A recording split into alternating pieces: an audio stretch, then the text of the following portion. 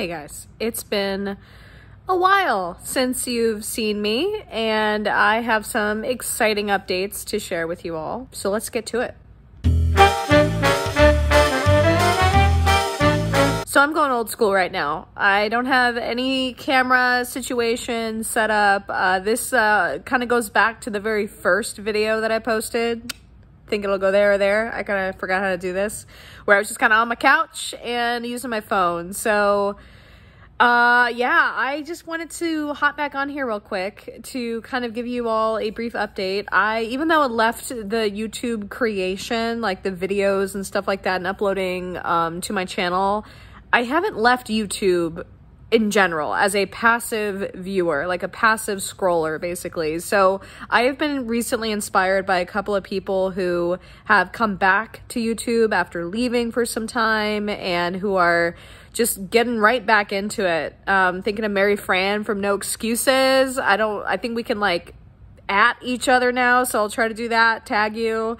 But you were super inspirational just getting back on here and updating us on your journey and how it's going. And for me, the YouTube thing, it just became a little time consuming to create content. And I think part of that is if you go through my videos, of those of you who have been following me, um, I like to do like fun little challenges and do like I did 21 day challenge. I did a bike riding uh, challenge, one of my first times uh, doing that. I did a keto challenge for 12 weeks. So a lot of my content, I, I think it, it takes time to kind of think about what the challenge is going to be and, and then do it. And then I like editing and I like putting things together and that just became a little too time consuming. So I do want to say though that I have not given up on my health journey. I know a lot of people leave YouTube for a variety of reasons. And one of the first things that I think people think when you leave your health channel is that you're no longer trying to be healthy or you're, you know, failing or you're stumbling, I should say. You're stumbling um, on your journey. For me, that has not been the case. I kind of uh, went into what's the kind of phrase I'm looking for? I began to take things incredibly seriously in December. And what happened in December was I essentially got to a very unhealthy high weight for myself. For the last like four years, I've been kind of like gaining the same five pounds and losing the same five pounds. But I hit a peak in December. I was 195 on the scale and it I was it was getting uncomfortable. I I have a very I'm a, a very short person, so um, that number just for me personally was not where I wanted to be.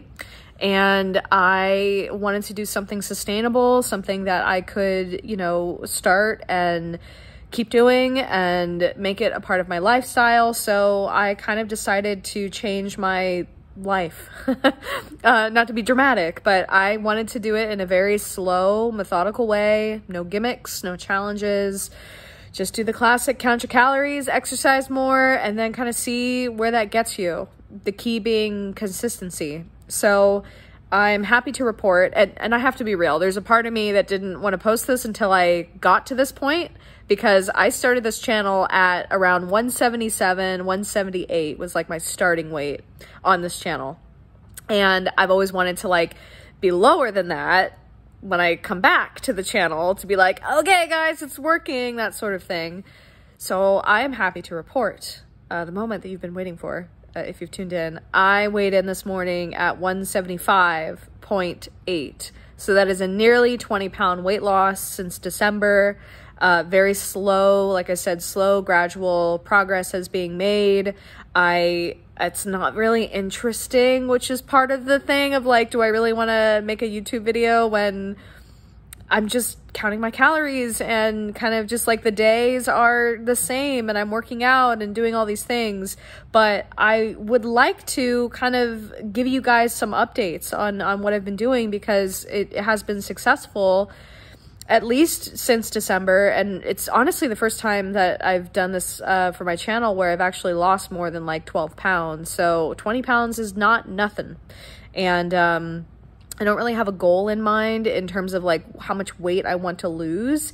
I do want to train again for a half marathon and eventually a marathon. I, I just, that, that seems so far away, but I've been jogging outside again and I did a 5K last weekend and a very slow jogger, but it, it's just like, it's great to work towards something. And so if you're interested in coming back uh, to my channel, if you're new, hello. But if you're one of those people that has been a subscriber from the early days like 2020, I want to tell you that I am back. And what I'm going to do is probably this kind of style until that creative bug hits me or bites me or whatever. And I want to do like more editing or, you know, have like cool graphics or take you outside, make it like a vlog. I won't, I'll probably never be a vlogger, let's be real. But I could once a week update you guys on on my weight and how it went and each week is a little bit different it's like i said it's boring but it's a little different um, but maybe, you know, I can finally be helpful to somebody who's also on a journey. And I think the message of this channel is it's not a linear journey, man. It is, it goes up and down, and consistency is key, and finding the inner strength to be consistent and to be disciplined, even if you're not feeling motivated.